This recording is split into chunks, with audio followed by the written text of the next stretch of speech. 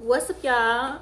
My name is Shadae Renee, and I have got a story to tell my younger self. I'm gonna name this story Should Have Known. I am a hairstylist and wig maker with a wig store in Atlanta. Should have known. In my journey of becoming a hairstylist, I've gone through some crazy experiences.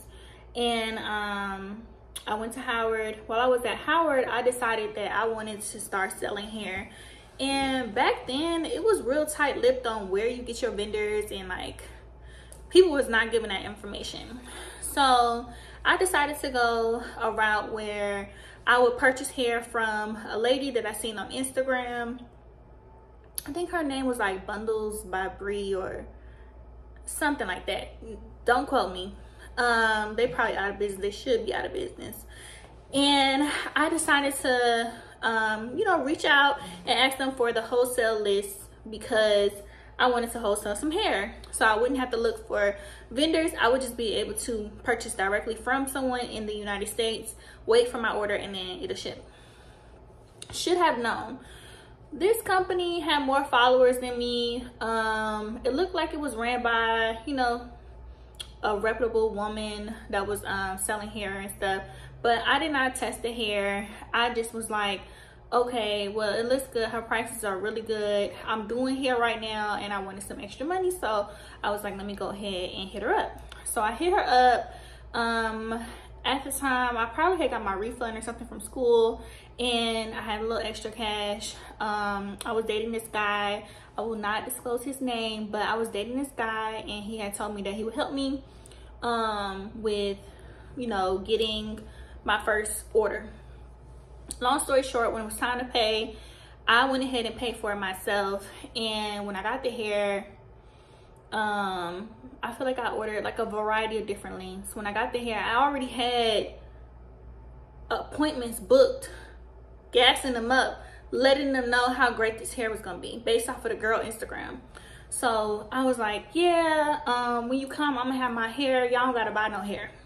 Let me just provide the hair for your appointment. So I'm like, okay, boom, my order, it should be here within, I don't know, two weeks or so. So by week three, I was already ready to book clients and everything.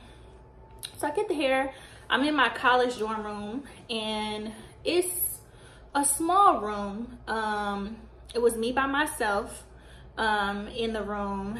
I just, I get a big package, I open it up. Open it up, start looking through the hair. I'm like, okay, it feels nice, it's cool. It's Brazilian hair at the time. So I'm like, okay, cool. Um, let me go ahead and let my clients know it's a go.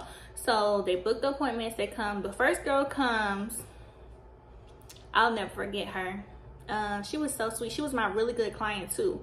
Um, I never seen her again after this experience, and I'm gonna tell you why. Um, the first girl comes, and I'm like, uh, yeah, I got the hair, whatever.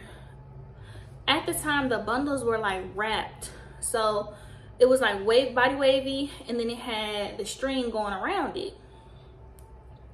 Um, as soon as I clicked the string, it had lights in it.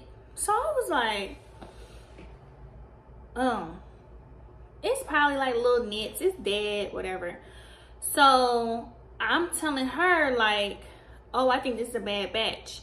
Let me um you know let me figure out another thing. So i ended up having some hair from another another vendor that i was trying and i ended up installing it. But that hair wasn't great. So let me pause. I have a fully booked schedule in my dorm room as an unlicensed hairstylist at the time. And I got all this hair that has lice in it. So I'm like itching.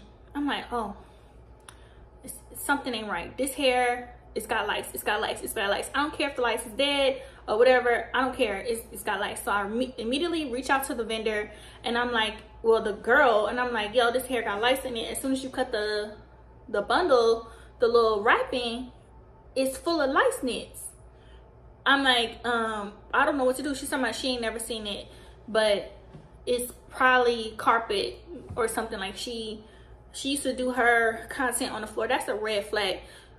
Doing content where they spreading out the hair on the floor, whatever. So she tried to blame it on like lice, like carpet bits or something. So I'm like, no, I'm Googling, researching. I already done fucked up somebody, well, excuse me, I already done messed up somebody appointment by not having the hair that they needed. But, you know, at the time she needed some hair. So I, I was like, you know, I didn't charge her. I was like, okay, well, you know, just let's use this and then I'm going to get back to you. So I'm like itching. Everything around me is, I, I feel like I got lice now.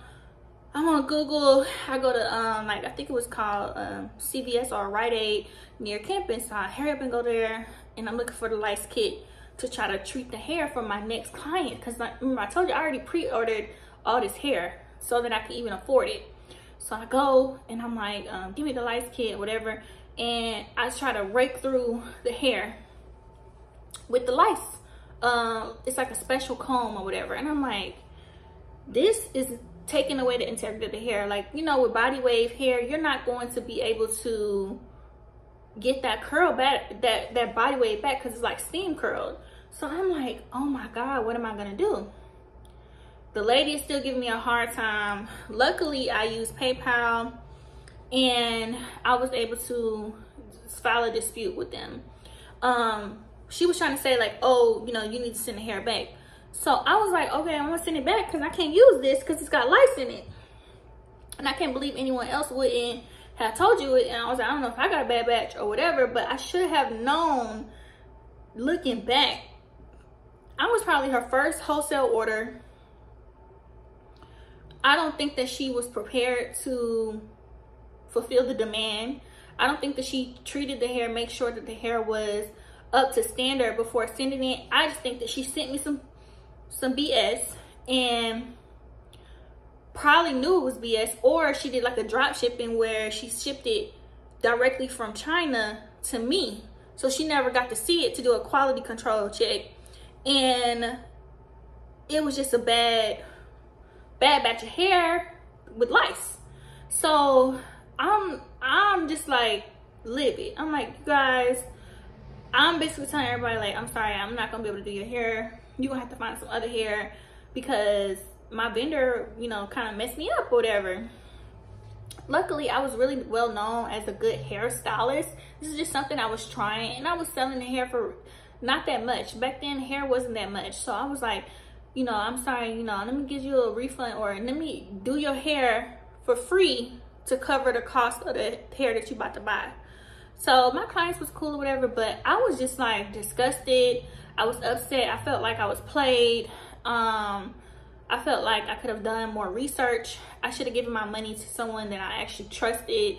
I kind of just bumped into her on Instagram and was like, yeah, I'm going to say this to say like, if you really, if you have a new business and you have a great product, you should never be afraid to promote yourself, whether you got two likes or 200 likes or 2,000 likes because there's someone out there like me who is looking for someone that they don't know and is having money and willing to spend money on your brand just based off of what you're saying. This girl wasn't extremely popular, but she was popular enough in my eyes to where I was like a newbie in the hair industry that I sent her $1,500 without even blinking and she sent me some BS. So I'll say that to say like, just make sure that you are vetting as a person that's purchasing as a consumer make sure that you are not just falling for the first thing.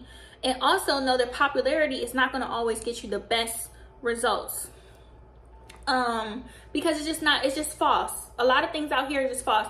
But a lot of people have great products and they're starting but they're not putting it out because they don't have following or because they think nobody watching. People are watching you. Um i'm also lead with remember i told y'all my ex-boyfriend had told me he was gonna give me the money. So i'm in a bind right now because my money's all tied up. So i asked him you know to give me some cash. I'm gonna pause right here